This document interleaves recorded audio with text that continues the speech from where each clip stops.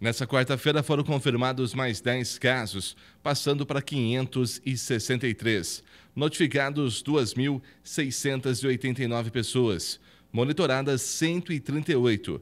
Em tratamento 62 pessoas. Curados 482. Óbitos 19.